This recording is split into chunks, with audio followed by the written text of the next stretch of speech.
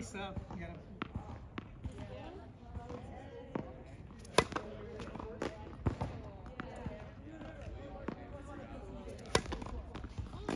good.